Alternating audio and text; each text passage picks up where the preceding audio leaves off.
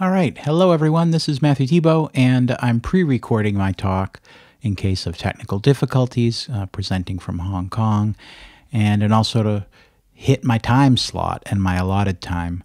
Uh, I'm talking about the use of Jamey Aebersold's play along materials in prisons, and in particular, something called Jamey's Prison Ministry. Uh, we'll have plenty of time for uh, questions afterwards. Uh, but since I'm pre recording this, uh, why don't you go ahead and either add them to the chat or um, write them down for after.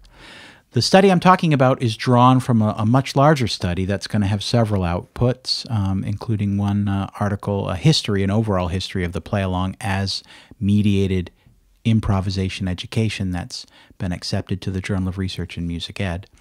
Uh, should come out next spring, about a year from now. Uh, it's a 24 month study funded by the Education University.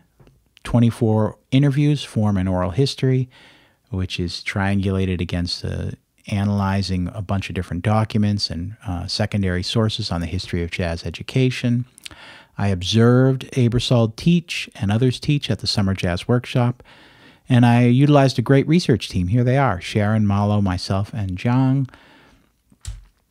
Today I'm talking about the specific use of the play along in the prison ministry. You know, what was the ministry? What was its history? Who was involved? How did it function? And what are some of the stories? But let me back up and explain what a play along is so that you'll know what kind of thing is being used. I did about a four minute intro. Basically, jazz education came together in the 60s and 70s. It got figured out.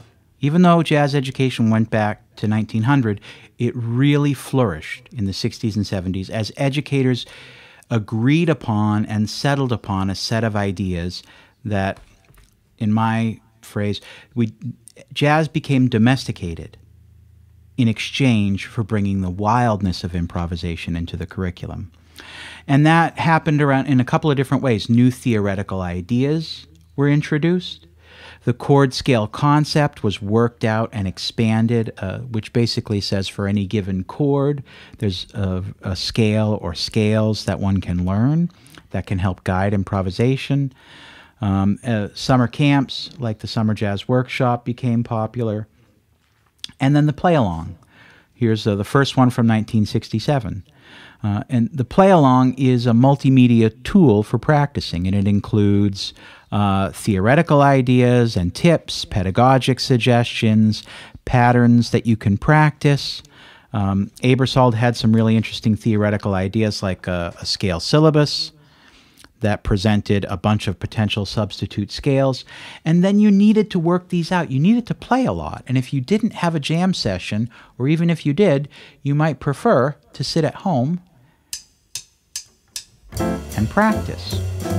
And the, that's what's really interesting. If you're learning to play classical music, you're learning to play the same tunes over and over in the same way. The jazz musician wants to play tunes differently each time. So this takes this is a theory tune. It's a 251. It's just D minor to G7 to C7 major 7.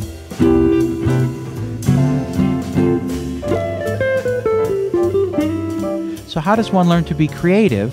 Well, they learn patterns that fit and outline the chords, and you learn the scales.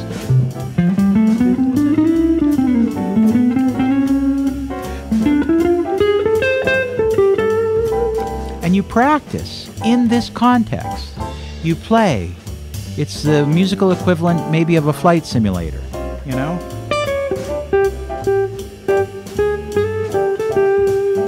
And you explore and you enjoy.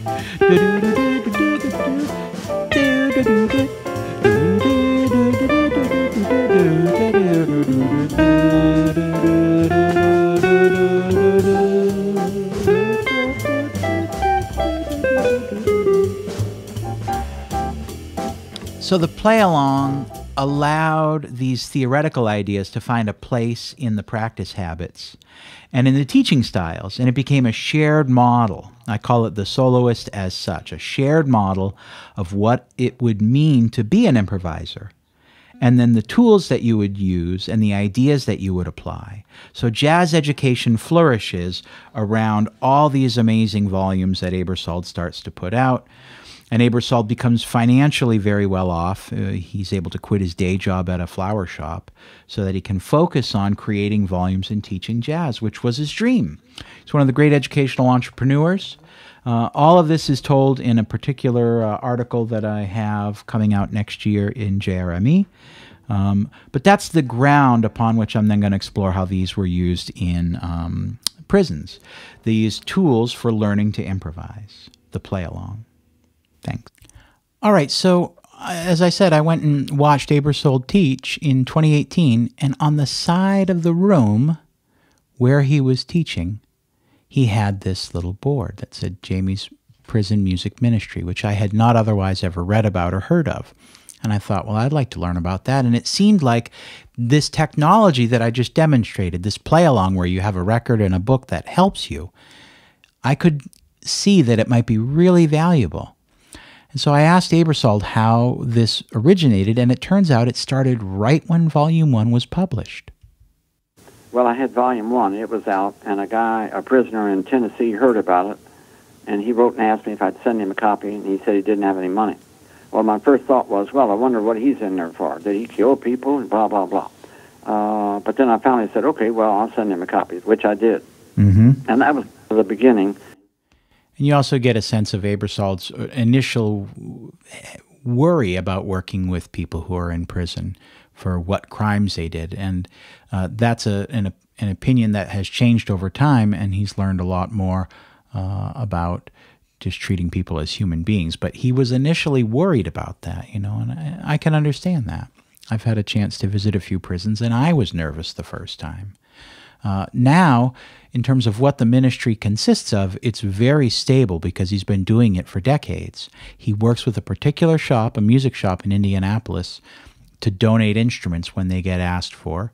He also mails out play along volumes to people that write and ask for them. And he will donate audio playback equipment so they can listen to the play alongs and use them. And that's, uh, you know, used to be LP players, turntables, and CD players.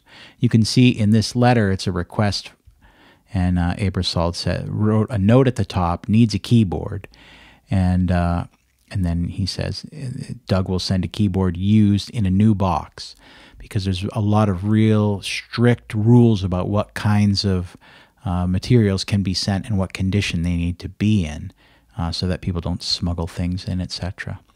But the ministry, in my examining dozens of letters that were sent to Aebersold, was often partly about um, getting materials, but very much also about friendship and connection uh, with people who wanted um, to have someone else in their life. And you can see here uh, this uh, uh person wrote uh, that they wanted to say thank you. And at the bottom, it's a true blessing. I can't begin to express the positive impact music has had on my life while incarcerated. Uh, a lot of letters like this, and it really speaks to the importance of Aebersold's uh, philanthropy in getting these materials out there. There were also opportunities to advocate uh, because Aebersold knows how the levers of power work. You can see here on the left, you know, if you pause it, I'm not going to read them both, but he said he wrote and said, a friend of mine uh, has had a stroke and isn't getting the therapy he needs, and he was uh, being uh, incarcerated in a private prison. And on the right, you can see um, the commissioner of the state of Indiana Department of Corrections wrote a letter that was CC'd to Aebersold to be sent to the prison to say this person needs to receive that therapy. And he was able to intercede on people's behalf uh, in, a, in a really powerful and productive way. Uh, and it, it, also, he connected with specific programs. Um, and that is what got me in touch with Charles Musgrave and the Indiana Maximum Security Prison. Charles uh, ran what I believe to be the only college level music program uh, from 1974 to 1996 at the Indiana Maximum Security Prison, where they administer the death penalty.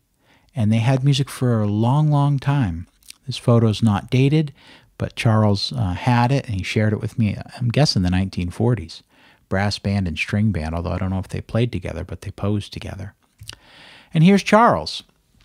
Jamey learned about his program from this newspaper article back uh, in the 70s, And on the right hand side, you can see Charles now. Uh, he was outside playing taps in uh, memory of people who have passed during COVID, and he sent me that photo during our correspondence. And he sent me a lot of other beautiful pictures. Um, and we spoke at length. And I'm not going uh, to get into all the ins and outs of his life, but Charles was trained as a classical French horn player and could not improvise. But most of his musicians wanted to improvise. So he reached out to Jamey because he had heard about these materials and said, Can I get them? And uh, Charles ran a concert band, but he also um, supported his uh, students in forming rock bands, country bands, R&B bands, etc., etc. And uh, one of the the central aspects of this prison was that several times a year there would be visits for um, performances. So the bands would perform, and you each inmate could invite uh, a family member or a girlfriend. And so the musicians were held in high esteem. The concerts they gave were loved in part because the the people who were there got to bring family in, uh, and uh, music was a really central part. Let's listen to Charles for a minute. You would give preference to those people who had a life sentence because you'd have more time to work with them.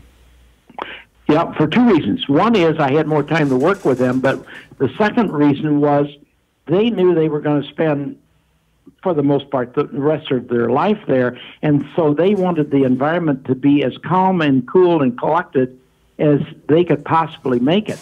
They were a lot more settled. They were a lot easier to work with.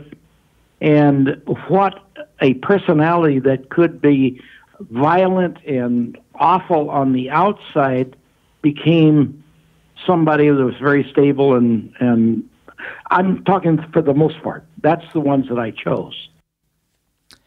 So there's Charles talking about that, and he spoke also a lot about uh, rehabilitation. And uh, this is another uh, quote or recording of Charles during our interview. As hard as I worked to build something that was fulfilling, made people into humans mm-hmm. from their various. I never knew what they had done. I didn't want to know unless they would come and confide in me and tell me what they did. I I never wanted to know that. I only only wanted to bring out the good that was in them.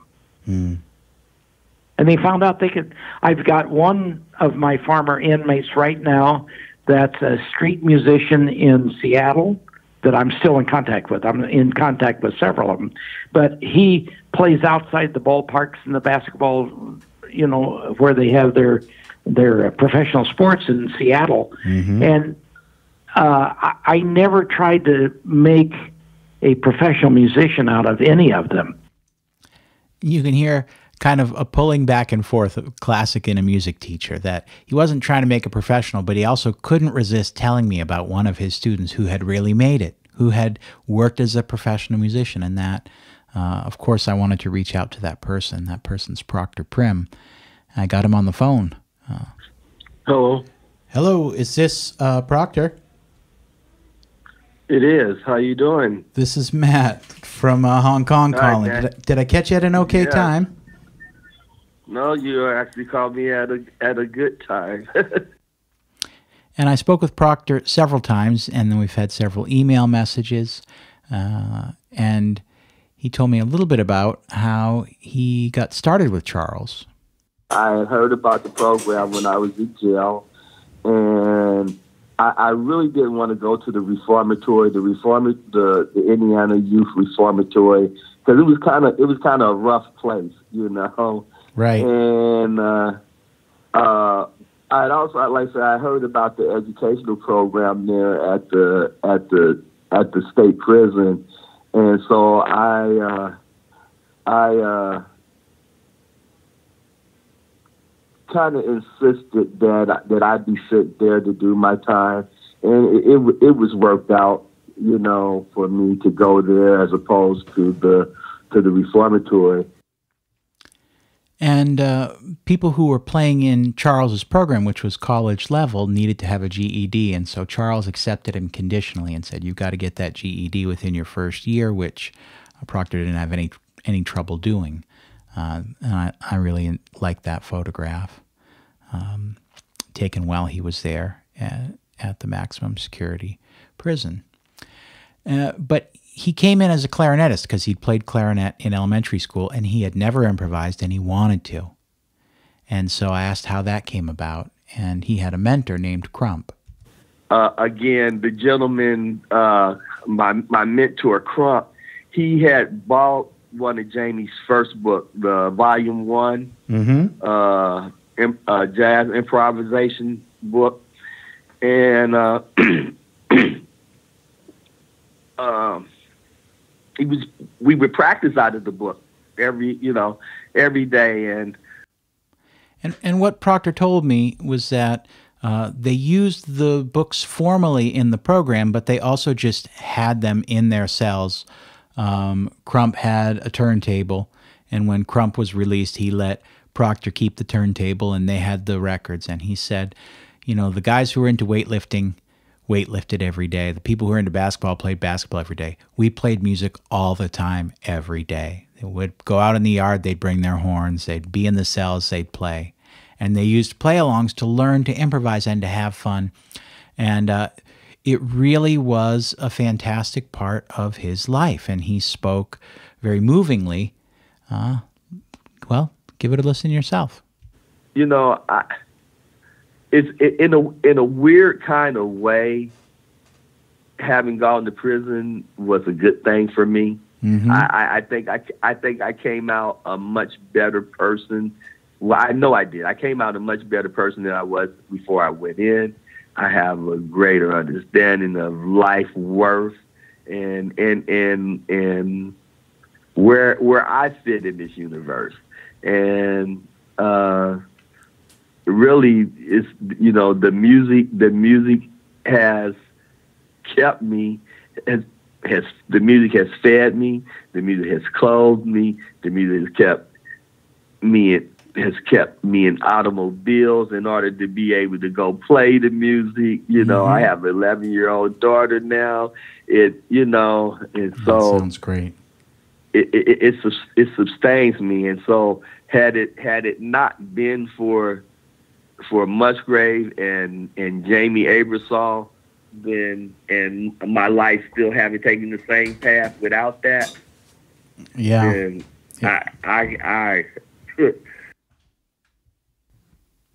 So it was really r- remarkable to me the degree to which music allowed prison to be transformative and rehabilitative for Proctor. Uh, and for uh, 12 years, he was in touch with Jamey. They ended up corresponding, writing back and forth. And Jamey uh, attended uh, Proctor's parole hearing and testified on his behalf. And Jamey told me that when they finished, he asked the judge, Can I go over and shake Proctor's hand? And it's the first time they met in person, 12 years after they first got in touch. Um, and Charles, also, of course, working within Indiana Maximum Security Prison, uh, had this experience that so many of the people that he worked with experienced this rehabilitative side. I'll let him say it. out of the hundreds of men that I worked with in those 22 years, I only had three return to prison. That's remarkable.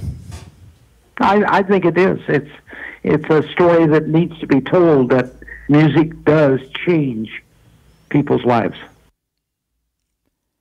And it's a real pleasure to get uh, to tell that story and to try in this article that I'm revising uh, something about uh, Jamey's prison ministry and, and the interconnections that the play along made possible between uh, people like Jamey and Proctor.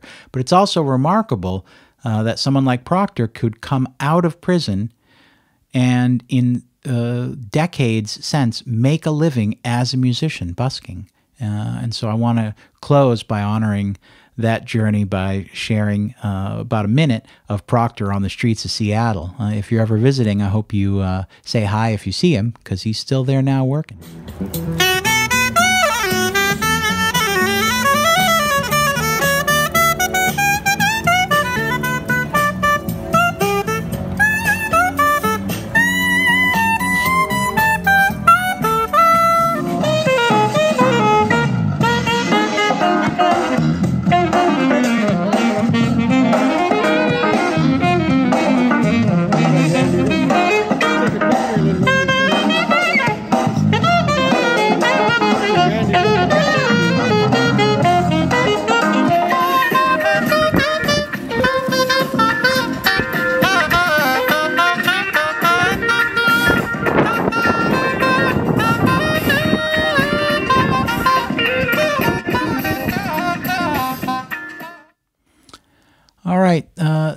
Let me sum up briefly before we have our discussion to say uh, in, in, the article, in the discussion, I make the, the case that um, largely this is a story about relationships and how important they were.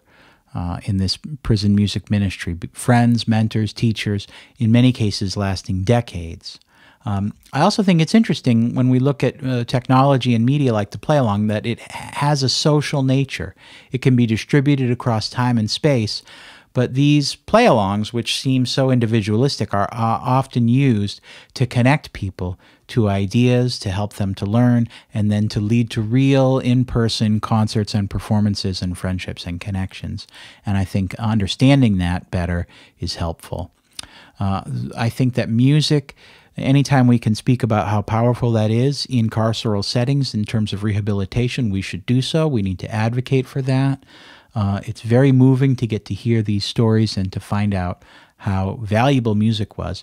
And it's not that hard to include it um, in people's growth, in people's learning. Um, and then uh, the rehabilitative nature of music uh, even the vocational side. So, uh, thank you very much for your kind attention. I look forward to our conversation, some questions, and our discussion of this.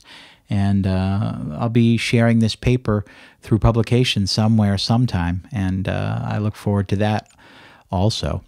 Thanks again.